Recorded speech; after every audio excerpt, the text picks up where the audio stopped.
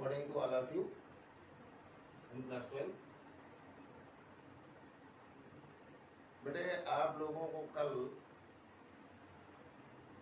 हमने एडजॉर्प्शन के टाइप बताया था। टाइप ऑफ़ एडजॉर्प्शन में बताया था कि एडजॉर्प्शन दो प्रकार फ़िज़िकल एडजर्प्शन और केमिकल एडजर्प्शन फ़िज़िकल एडजर्प्शन और केमिकल एडजर्प्शन की जो डिफरेंसेस बताए थे कि फ़िज़िकल एडजर्प्शन स्पेसिफिक नहीं होता केमिकल एडजर्प्शन स्पेसिफिक होता है। फ़िज़िकल एडजर्प्शन की एंथैल्पी कंपेरेटिवली लो होती है और केमिकल एडजॉर्प्शन की इंथैल्पी ऑफ़ एडजॉर्प्शन हाई होती है एंड सो ऑन वगैरह वगैरह। आपने पढ़ रखा है तो आप जो पढ़े हैं रिवाइज कर लें इन सब पॉइंट्स को दिमाग में रखें। फिर भी आप लोगों ने जो भी क्वेश्चन पूछना है? पूछा नहीं किसी ने पूछना हो तो आप पूछ सकते हैं। आज उसके अगले के दिन की टॉपिक जो आपको हमने कल बताया था कि हम कल आपको एडजॉर्प्शन आइसोथर्म के बारे में समझाएँगे तो आज हम आपको एडजॉर्प्शन आइसोथर्म के बारे में बता रहे हैं। एडजॉर्प्शन और आइसोथर्म। दो शब्द हैं। तो एडजॉर्प्शन को तो आप पहले, पहली बात जान सक, जान चुके हैं। लेकिन ये दूसरा शब्द जो आ गया आइसोथर्म। आइसोथर्म का क्या मतलब होता है? आइसो का मतलब होता है सेम। और थर्म का मतलब होता है थर्मल एनर्जी, यानी टेम्परेचर यानी कि आपका जो थर्मल एनर्जी है टेम्परेचर है, उसमें कोई चेंज आप ना करें। और अगर आप थर्मल एनर्जी में चेंज नहीं कर रहे हैं तो कुछ ना कुछ तो चेंज कर रहे होंगे ना। जब तक आपको चेंज नहीं करेंगे तो फिर बात ही? क्या आई आपने पढ़ लिया बात खत्म हो गई थी। एडजॉर्प्शन केमिकल एडजॉर्प्शन ये होता है फ़िज़िकल एडजॉर्प्शन ये होता है। नहीं, कुछ चेंज करके हम बात कर रहे हैं। तो हम टेम्परेचर को चेंज नहीं करेंगे, लेकिन प्रेशर को चेंज करेंगे। तो अगर हम प्रेशर को चेंज करेंगे और टेम्परेचर को चेंज नहीं करेंगे then what will be change in rate of adsorption इस बात को समझने के लिए हमारे कुछ साइंटिस्ट समझाने के लिए आगे आते हैं। उसमें फ्रेडरिक का नाम प्रमुख आता है। फ्रेडरिक नाम के जो साइंटिस्ट हैं, उन्होंने वेरियस टाइप के एक्सपेरिमेंट किया। उसमें उन्होंने टेम्परेचर को कांस्टेंट रखा, लेकिन प्रेशर में उन्होंने चेंज किया। कहीं पर प्रेशर थोड़ा सा कम था, कहीं प्रेशर थोड़ा और बढ़ाया, कहीं थोड़ा प्रेशर और बढ़ाया और बढ़ाया। तो प्रेशर बढ़ने के साथ साथ जो सेम टेम्परेचर पर होने वाली रेट ऑफ़ एडजॉर्प्शन एडजॉर्प्शन की जो रेट्स है, उसके स्टडी के लिए उन्होंने क्या कंक्लूजन दिया? उनका एक कंक्लूजन निकला कि देखिए भाई, अगर हम टेम्परेचर को कांस्टेंट रखें टेम्परेचर में कोई परिवर्तन ना करें। और ग्रिल के ऊपर पेंट लगाएँ। देखिए टेम्परेचर को चेंज ना करने वाली बात जो है वो भी समझ लीजिए। यही क्लियर कर दे रहे हैं। सपोज़ कर लीजिए कि आप अपने घर में लगे हुए विंडो पर जो ग्रिल है, उसको जनवरी के महीने में पेंटिंग कर रहे हैं। तो आप बड़े बड़ी बात जान लीजिए, जनवरी या दिसंबर के महीने में आपको देखने को मिलेगा कि पेंट बहुत गाढ़ा हो गया है।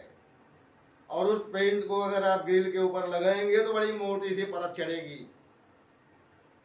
अर्थात टेम्परेचर डाउन होने पर rate of physisorption physisorption समझ में आई गया तो rate of physisorption temperature घटने के साथ साथ रेट ऑफ़ फिजी शार्पशन बढ़ रहा है।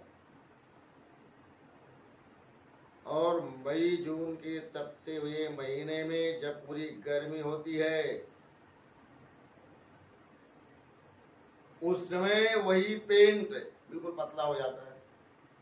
और उस समय अगर आप लगाएँगे तो आपका लोहा जो है ना ग्रिल वो भी गर्म होगा। तो लगाते रहेंगे, वो बहता हुआ चला जाएगा नीचे, बहुत ज़्यादा मोटा परत नहीं रुकेगा इसीलिए पेंटिंग के लिए टाइम आप जरा सोचिए।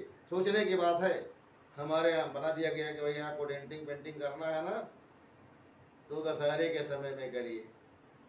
दशहरे का समय, दशहरा भी आने वाला है ना, दशहरा दिसंबर, आप जानते हो कि दशहरा कब आता है।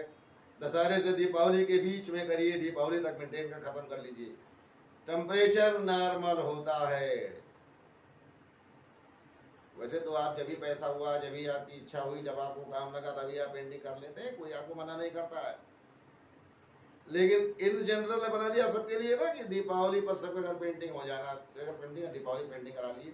दीपावली पर नहीं मतलब दीपावली पहले शुरू करेंगे तभी काम होगा दशहरे से लेकर के दीपावली के बीच में करा लीजिए। क्यों? नाइदर सो हॉट ना कूल मौसम सामान्य होता है, ना तो पूरा पेंट बह जाता है और ना ही बहुत ज़्यादा पेंट लगता है, बिल्कुल एक नॉर्मल रेंज में लगता है। तो ये है टेम्परेचर का इफ़ेक्ट एडजॉर्प्शन पर फिजिशन पर। यहाँ फ़िज़िकल एडजस्टमेंट की बात कर रहे हैं। हम तो अब टेम्परेचर घटने और बढ़ने की बात आपको समझा दिया गया कि टेम्परेचर घटने बढ़ने के साथ ही होता है, लेकिन हम यहाँ टेम्परेचर को नहीं बदल रहे हैं। यहाँ केवल टेम्परेचर को कांस्टेंट रखते हुए सेम टेम्परेचर पर केवल और केवल प्रेशर की बात कर रहे हैं कि अगर हम प्रेशर में परिवर्तन करें तो क्या होगा? जरा सोचिए, आप ब्रश लिए हुए हैं। आप स्वयं अपने हाथ में ब्रश लिए हुए हैं, कल्पा के हाइपोथेसिस रखिए दिमाग में। और ब्रश लेकर के आप स्वयं पेंटिंग कर रहे हैं, अपने लोहे की ग्रिल पर। पेंटिंग स्वयं कर रहे हैं, अपने ब्रश से।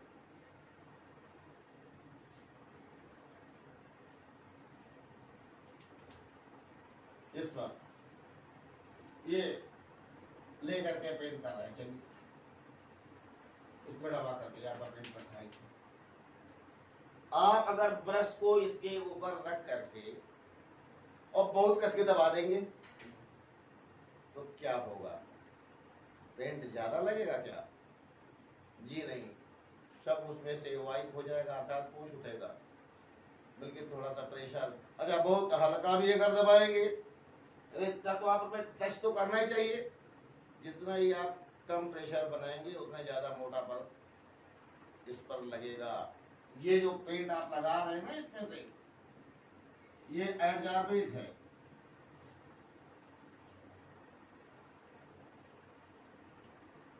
और इसी एडजार्बेट की जो हमने कहा कि एक्स अमाउंट लिया है, ये एडजार्बेंट है। एडजार्बेंट का यम मास लिया है। ये इसका मास है। मास एडजार्बेंट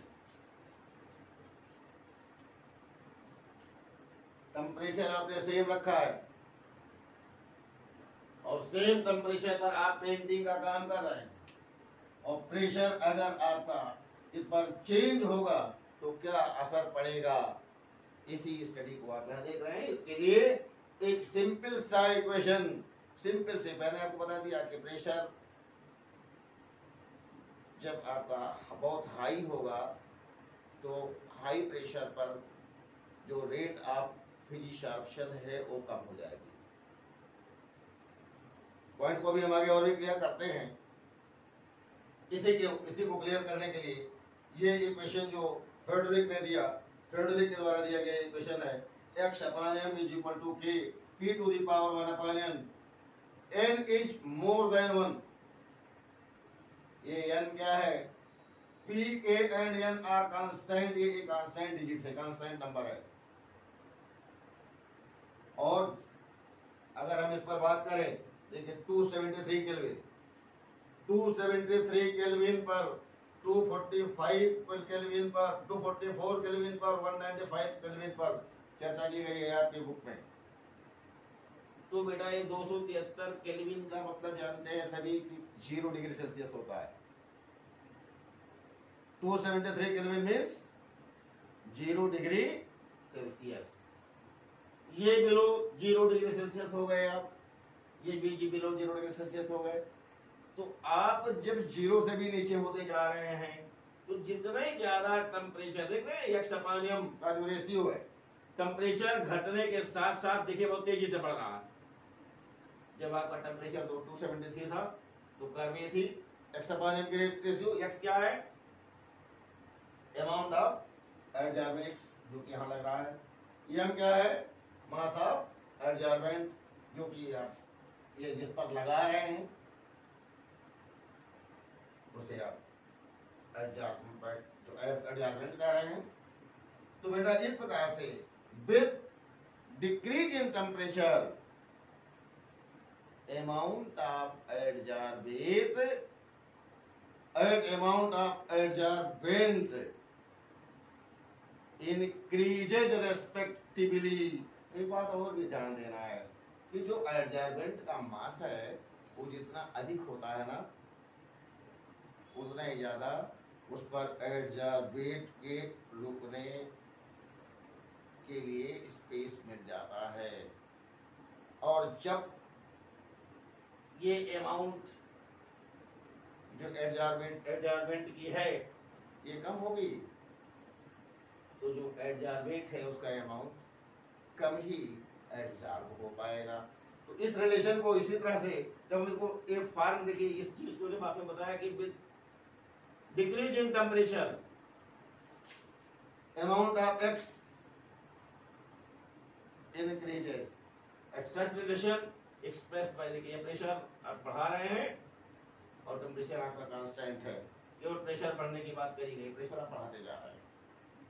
टेम्परेचर कांस्टेंट है। इस टेम्परेचर पर अगर प्रेशर बढ़ाएँगे? इस टेम्परेचर पे अगर प्रेशर बढ़ाएँगे? इस टेम्परेचर भी प्रेशर बढ़ाएँगे? तो टेम्परेचर जितने बदल रहा टेम्परेचर बदलते जा रहे हैं। और प्रेशर बढ़ाते जा रहे हैं।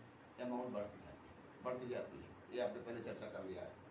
कि टेम्परेचर का क्या असर पड़ता है? मैंने आपको पहले बताया कि ठंडक के दिन में क्या होगा, और दशहरे के दिन में क्या होगा, और मई के महीने में क्या होगा। तो टेम्परेचर बदलने का एक्सपेरिमेंटल वेरिफिकेशन आप देख सकते हैं। इसे जब हम डिजिट पे, इस डिजिट को न्यूमेरिकली लगाना चाहते हैं तो उसे लॉग यूज़ करते हैं। Log x upon m equal to किसी को जब अप्लाइंग log log अप्लाई करते हैं तो log x upon m is equal to log k plus one upon m log p ये आपने पढ़ रखा होगा, पहले से ही जब इसमें लाग अप्लाई करेंगे तो ये इक्वेशन आपको मिल जाता है। जहाँ एक्स क्या है? Mass of gas adsorb. Adsorbed और देखिए जो एडजार्ब होने वाली चीज़ें हैं, वो गैस भी हो सकती हैं, लिक्विड भी हो सकती हैं, और सॉलिड भी हो सकती पहले तो अपने दिमाग में या माइंड में कब करिए कि एडजारबेट और एडजारबेंट दो शब्द हैं। एडजारबेट और एडजारबेंट दो शब्द हैं। आइए, सामान्य सी बात कर लें। एडजारबेंट जो है ना एडजारबेंट का मतलब जानते हो क्या होता है? अधिशोषक, अर्थात जो शोषक, अर्थात जो सोखने के लिए बैठा हुआ है। वो दो प्रकार का होता है। केवल दो ही स्टेट में पाया जाता है। कौन कौन से सॉलिड आइदर सॉलिड और लिक्विड एडजर्बेंट जो होता है, वो दो ही स्टेट में रहेगा। सॉलिड या लिक्विड बहुत ही, एक बार फिर से दिमाग में रखिए रिवाइज करिए। एडजर्बेंट केवल सॉलिड और लिक्विड के फॉर्म में होता है। लेकिन जो एडजर्बेट है एडजर्बेट का मतलब A D S O R B A T अधिशोषी, इसको हिंदी में बोलते हैं। वो all the three state solid liquid and gas तीनों स्टेट में हो सकता है। Adsorbate may be in all the three states are solid or liquid or gas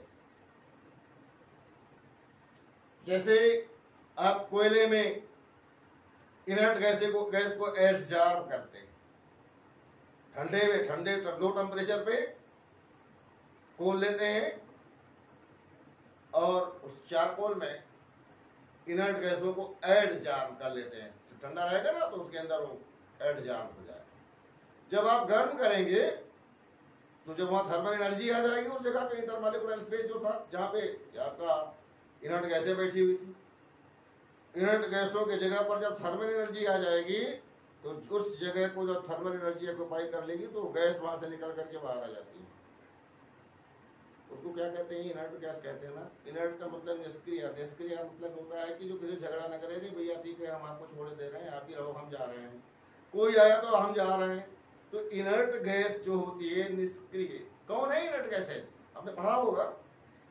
Helium neon argon krypton xenon और radon H E N A R K R X E Aryan कहाँ पाए जाते हैं? पीरियडिक टेबल में। Group eighteen में।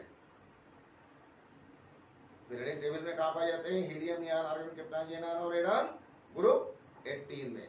All these are called as inert gases so they are put for in zero group because they are zero but at the same time such group is also recommended as group 18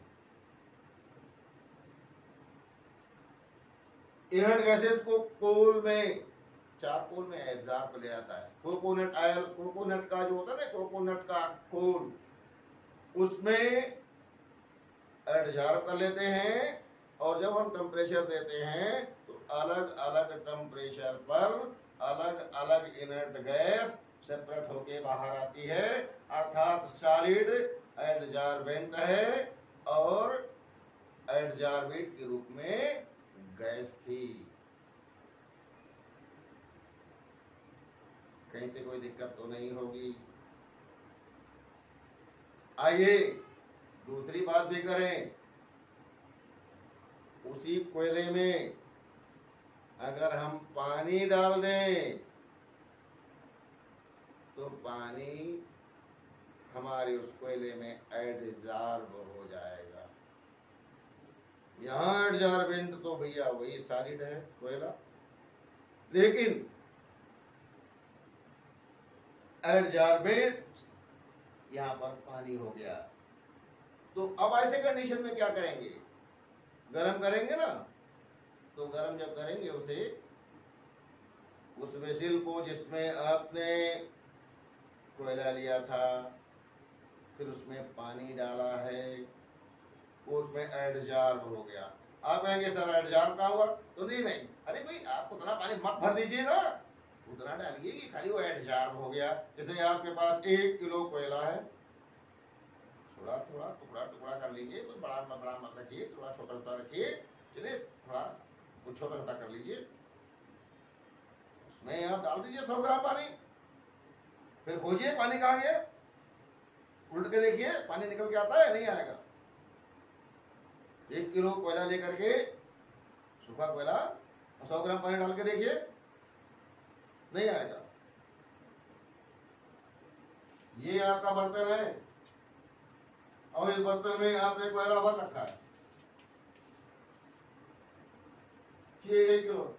इसमें आपने पानी डाल रखा है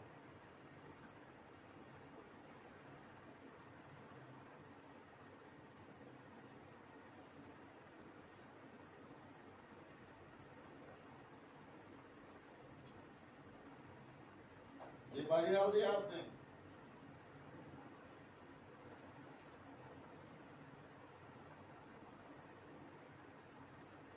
अपने में लेकर के।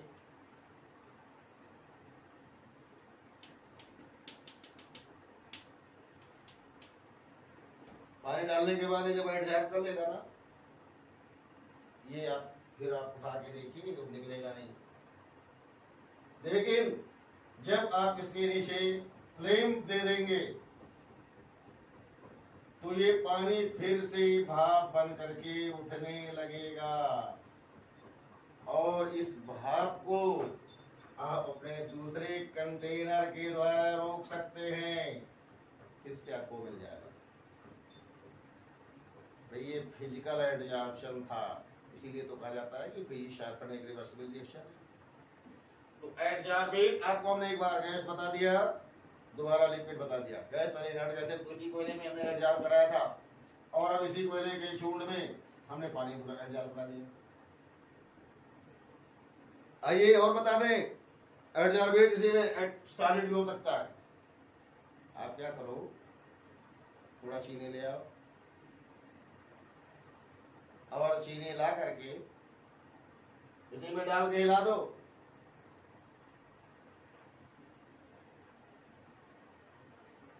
चीनी को डालकर हिला दो पानी में घोल करके। वो जो पानी डाला था ना इसमें इसमें चीनी डाल करके, घोल करके इसमें डाल देते। या वैसे ही चीनी डाल चीनी डाल दीजिए पहले। और चीनी डाल करके कोयला हिला दीजिए। भैया देखिए आपने उसी बात का चीनी, इसी में थोड़ा सा मॉइस्चर पाएगा, अपने आप मिल जाएगा। कोई दिक्कत नहीं, आप कुछ मत करिए, पानी मत डालिए। आपको अपना चीनी चाहिए। कैसे लेंगे आप? ये भी आपने पढ़ रखा होगा सेपरेशन में। क्लास टेंथ में। ये पढ़ाया गया था। बुद्धि लगाइए।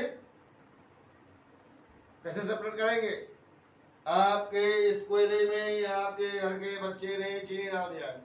देखिए उसे रात में डाला था और बाहर था कोयला। उसमें से वो बाहर सीध गिरी, वो पिघल पिघल के उसमें आ गया। आपको चीनी अलग चाहिए कोयले से। आप अलग करिए। देखिए, आप अलग कर सकते हैं। कैसे अलग करेंगे। अब इसमें पानी मिला दीजिए पूरा चीनी उसमें घुल जाएगा। लेकिन कोयला नहीं खुलेगा। आप फ़िल्टर कर लीजिए, चीनी पानी में घुल करके बाहर आ जाएगा। और पुनः पानी का जो भाप है, उसको क्या करेंगे? सिंपल डिस्टिलेशन के द्वारा उड़ा दीजिए, चीनी आपको नीचे मिल जाएगा। इस प्रकार से आप उसको कर सकते हैं। चलिए, हम यहाँ पर इसके अलावा, देखिए, हम ये केवल बताना चाह रहे थे कि एडजॉर्प्शन सॉलिड में सॉलिड से आपने अभी बात किया। कि आप लोहे के ऊपर निकिल और क्रोमियम की लेयर चढ़ाते हैं। लोहा भी सॉलिड होता है, निकिल क्रोमियम भी सॉलिड होता है। But at the same time at which time reaction is being held between chromium and nickel pair with iron nickel and chromium changes into liquid at high temperature so called केमिशन held at a high temperature their enthalpy is, energy of enthalpy is comparatively too high इसीलिए कहा गया था और नहीं कहा गया। हर चीज़ का एक केमिकल रीजन है, वो फैक्टर है, वो फैक्टर रेस्पॉन्सिबल होता है। तो जहाँ तक हम समझते हैं कि आपको ये पूरा कंसेप्ट क्लियर होता जा रहा होगा, कहीं से कोई दिक्कत तो नहीं हो रही होगी। अगली बात बताते चले हैं। ये जो आपने इस्तेमाल किया यूज़ किया x upon m equal to k p one upon m यहाँ पर एक्स क्या है, बता दिया आपको हमने कि mass of gas adsorb m क्या है, mass of adsorb adsorbent p k और एन ये कांस्टेंट है। अगले पॉइंट पे आइए। अगले पॉइंट में आपको कुछ एक्सप्लेन करने की बात यह है, जब वन अपान एन की वैल्यू ज़ीरो होती है तो एक्स अपान एम की जो वैल्यू होती है, वो एक्स अपान एम कांस्टेंट होगा। और सॉल्यूशन फ़ेज़ में एडजॉर्प्शन कैसे होता है, इस पर भी हमने आपसे चर्चा कर दिया। सॉल्यूशन फ़ेज़ सॉल्यूशन फ़ेज़ में एडजॉर्प्शन बता दिया हमने कि गैसें किस प्रकार से एडजॉर्ब होती हैं। तो सॉल्यूशन में बता दिया आपको हमने कि adsorption from solution phase formula वही लागू होता है k c to the power one upon n x upon m equal to k c यहाँ पर चूँकि कंसंट्रेशन की बात आती है प्रेशर की जगह पे। तो सॉल्यूशन फ़ेज़ में कोई सेम फार्मूला सी के जगह, यहाँ पर पी के जगह आप सी इस्तेमाल कर देते हैं और कुछ परिवर्तन नहीं होता है। और सेम फार्मूला यूज़ किया जाता है। जो आपने एक बार यहाँ पर पढ़ रखा है। तो कोई स्टेट चेंज होने से अगर आइसोथर्मल की बात करेंगे तो केवल इतना ही है कि एक बार आप प्रेशर की बात कर रहे हैं प्रेशर चेंज कर रहे हैं, और अगर आप कंसंट्रेशन चेंज करेंगे तो कंसंट्रेशन चेंज करने पर भी आइसोथर्म में are both express similar difference pressure और कंसंट्रेशन का चेंज इसीलिए सिमिलर कंसेप्ट भी दोनों जगह लागू किया जाता है। और केवल बस जब कंसंट्रेशन चेंज होता है ना तो यहाँ पर के सी सी के जगह के पी के जगह पर देख रहे होंगे कि केवल पी के जगह पर आपने यहाँ पर सी कर दिया है और इसमें कोई चेंज नहीं किया जाता है। ये कहीं से कोई कंफ्यूजन नहीं रह गया होगा। जहाँ तक हम समझते हैं ये बात पूरी आपको क्लियर हो गई होगी और अगले पॉइंट पर हम चलते हैं। एप्लीकेशन ऑफ़ एडजॉर्प्शन तो एप्लीकेशन एडजॉर्प्शन की बात करते हैं। और तो एप्लीकेशन ऑफ़ एडजॉर्प्शन देखिए भाई, प्रकृति ने जितने भी प्रक्रियाओं को बनाया है, सभी प्रक्रियाओं को हमारे सुख सुविधा के लिए, हमारे उपयोग के लिए बनाया है। एडजॉर्प्शन भी एडजॉर्प्शन हमने आपने नहीं बनाया है। नेचुरल फेनामेना है एडजॉर्प्शन इस नेचुरल फेनामेना के द्वारा हमारे lot of work lot of function maintain होते हैं। और ये तो हम खुद स्टडी केवल कर रहे हैं? एडजॉर्प्शन की फेना इसकी ऐसी सब एक्टिविटीज़ को हम क्या कहें? एडजॉर्प्शन कहें। नेचर ने जो एडजॉर्प्शन की फेनामेना हमें अवेलेबल कराया है, उसकी क्या एप्लीकेशन है? Lot of application production of high vacuum देखिए, अगर एडजॉर्प्शन ना होता ना तो कहीं से भी कोई, मान लीजिए आपके पास कोई कंटेनर है, और आपको वहाँ पर वैक्यूम चाहिए। वैक्यूम का मतलब तो जानते ही होंगे ना? वैक्यूम का मतलब होता है हिंदी में निर्वात। निर और वात। इसी को वैक्यूम कहते हैं। निर मतलब विहीन और वात मतलब वायु। वायु विहीन, अर्थात हवा रहित तो आपको कहीं किसी भी कंटेनर से, किसी भी वेसल से एयर को कंप्लीटली एडजॉर्ब कराने के लिए, जैसे अभी आपने बताया कि आपको ये गैसें रखी हुई है तो उसमें से उस गैस को एडजॉर्ब करने के लिए आपने चारकोल का इस्तेमाल कर दिया। Various type of coals are use for adsorption of various type of gases Various type of adsorbents are used. Not may only charcoals are responsible for adsorption. It is selected by according selected by scientists according their need that which type of which adsorbent will be used for such adsorption phenomena. Such adsorbate so so, आपको ये phenomena जानने के बाद कि भाई इस प्रकार से एडजार्प्शन हो सकता है और ये गैसें एडजार्ब हो जाएँगी। और एडजार्ब होने के बाद जिस कंटेनर में हमने लिया है उस कंटेनर में वो खाली हो जाएँगी। और खाली होने के बाद हमारे उस कंटेनर में केवल केवल ये जो गैस मालिक्यूल्स हैं, जो इसमें तैर रही हैं, जब हम इस गैस मालिक्यूल में यहाँ पर देखिए, यहाँ हम नेट लाएँगे हमारा ये ढक्कन था ये ये कोई बर्तन है, कंटेनर है हमारा, उस कंटेनर में हमारे रखा है, कंटेनर को हमारी गैसेस हैं। इसके ऊपर हम कोई नेट टाइप की चीज़ रख देते हैं। जैसे ढक्कन है इसका समूह है। इस पर नेट लाइक कोई चीज़ रख दिया। जालीदार।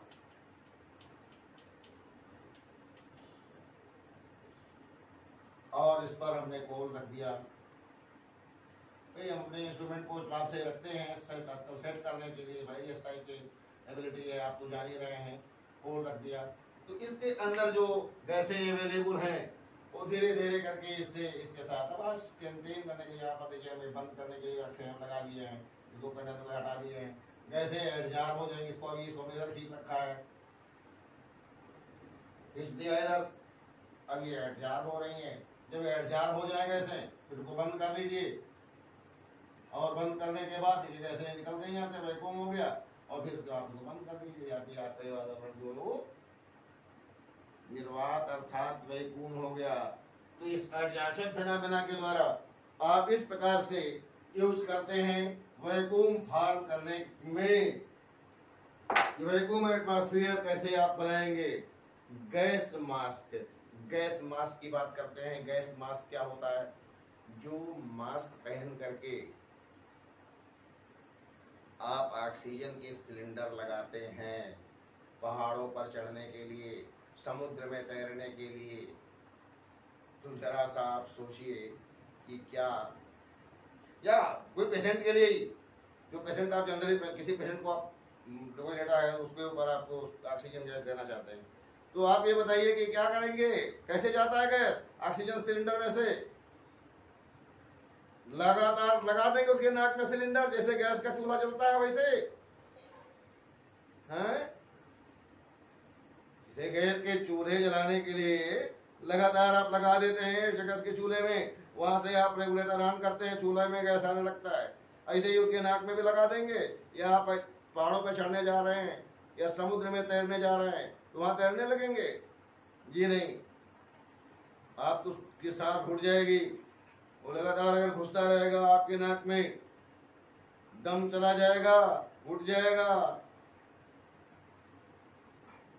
इसीलिए जो ऑक्सीजन सिलेंडर से ऑक्सीजन आती है, पहले फूल से भरे हुए पाउडर में एडजार्ब होती है।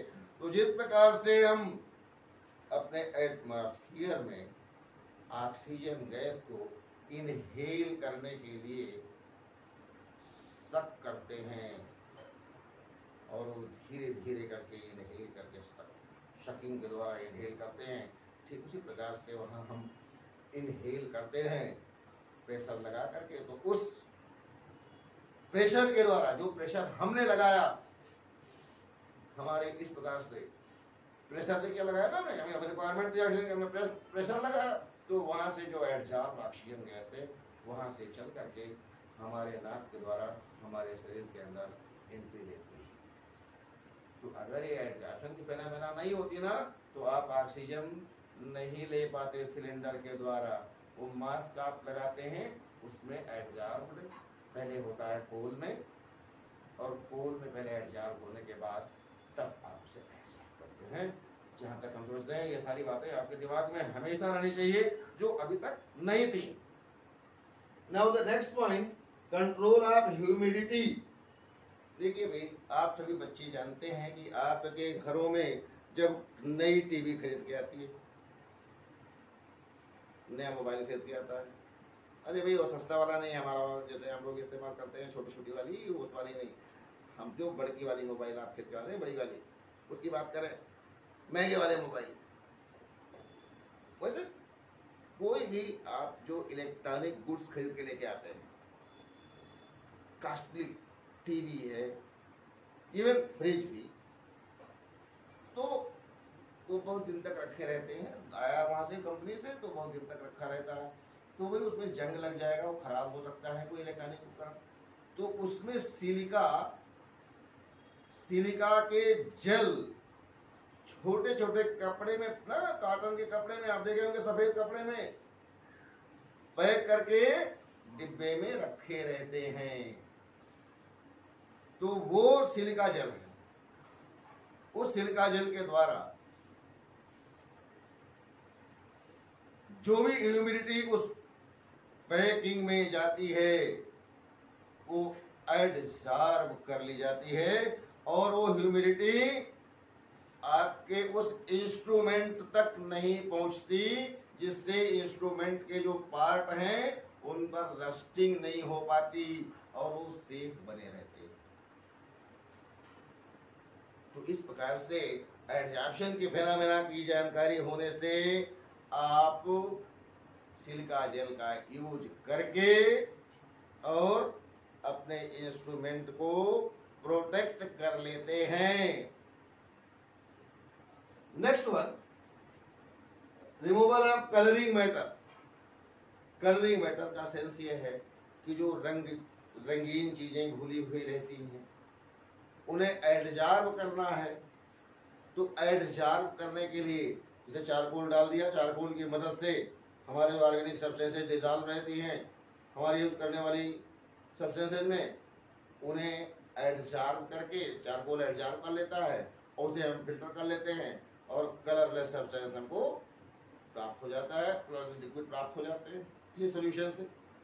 सोल्यूशन में चारकोल डाल करके जिस सब्सटेंस के द्वारा कलर प्रोड्यूस हो रहा है, उस सब्सटेंस को एडजार्व कर लेते हैं और एडजार्व करा करके उनको फ़िल्टर करके आप कलरलेस अपना मटेरियल प्राप्त कर हैं इस प्रकार से removal of colour any solution आप करते हैं। Now next one heterogeneous catalysis heterogeneous catalysis तो आपके टॉपिक से रिलीज़ कर दिया गया है इस साल निकाल दिया गया है। लेकिन हेट्रोजेनस कैटलिसिस आपको बताना पड़ेगा हेट्रोजेनस कैटलिसिस क्या है। हमें को तो इस तरह से हेट्रोजेनस कैटलिसिस क्या होता है?